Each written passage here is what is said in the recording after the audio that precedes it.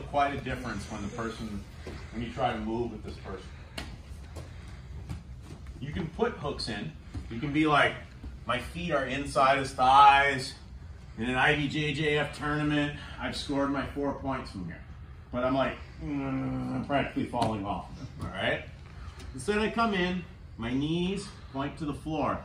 My shoulders connect to his shoulders. And when he goes to move, it's exhausting, right? Like, you're carrying all my weight now. If you roll, I don't lose, I, my posture doesn't change. I'm still exactly where I want to be to be able to do my choke. Try to connect to him, and then don't forget to breathe, okay? I'm not doing an isometric hold, like, eh, like trying to see how, how, I'm not trying to squeeze him, okay? I'm just trying to connect and find the minimal effort for me to have a very strong connection that slows him down, okay? One, two, three.